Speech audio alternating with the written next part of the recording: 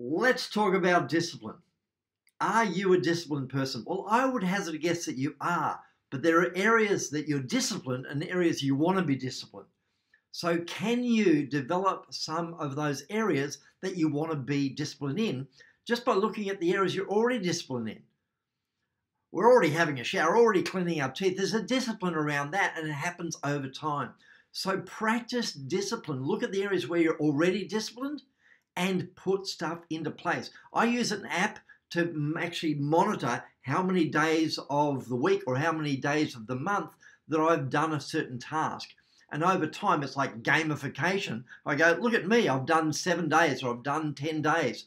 It enables me to kind of get that little boost of adrenaline to go, woohoo, this is great. So, where can you be more disciplined in your life and in your business? All right, that's it for now.